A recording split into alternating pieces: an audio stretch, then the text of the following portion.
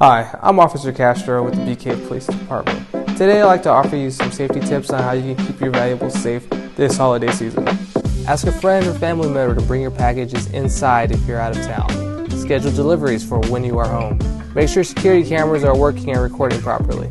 If you know you won't be home, have packages delivered to your place of work. Request carriers to leave packages out of view. Report any suspicious vehicles or people to non-emergency dispatch. Thanks for watching and I hope you and your family stay safe this holiday season.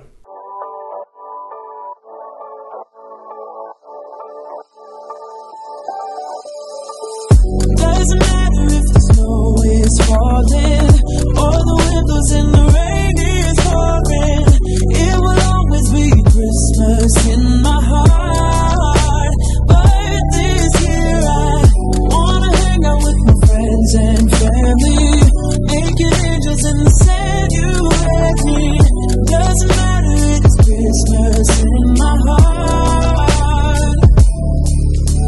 And I can promise Santa's coming to visit. No, he wouldn't miss this in Christmas.